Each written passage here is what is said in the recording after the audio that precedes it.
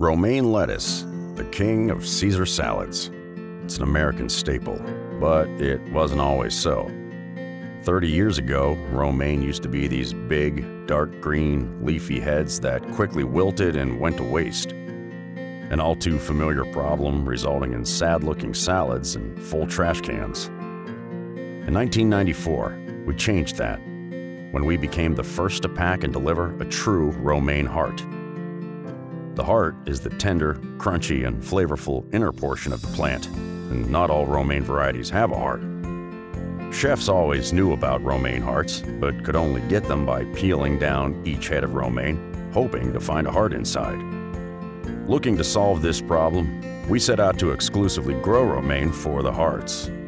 This wasn't an easy task. At first, we started gleaning romaine fields, looking for hearts left behind after the harvest crews had passed through. After several years of seed trialing, we were able to identify and propagate romaine varieties that produced a mature heart 100% of the time. We honed our growing practices, leaving our romaine in the ground for longer, allowing the leaves ample time to fully mature. When ready to harvest, we developed a process that allows us to deliver a safe, ready-to-eat product with minimal waste. This means no more trash cans full of wilted romaine leaves, and tastier salad on the table. 30 years ago, we revolutionized the industry and brought romaine hearts to the mainstream.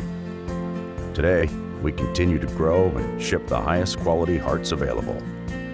We live by flavor, freshness, and value, and take pride in growing and delivering the original Garden Hearts romaine heart all year round. From our farm to your table. That's the way we've done it at Hitchcock Farms since 1989.